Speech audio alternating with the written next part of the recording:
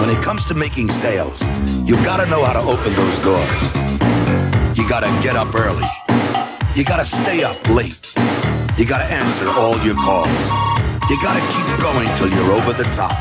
It's all a part of the drill. Because if you don't take care of your customers, you know that somebody else will.